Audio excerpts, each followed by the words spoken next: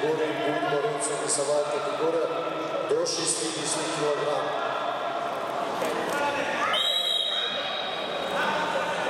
Тухаев Герман, Кировский район, Гусов Давид, Ардон. Чисто техническую победу одержал Латов Юра. Победу на ключе одержал Давид Хатабуров.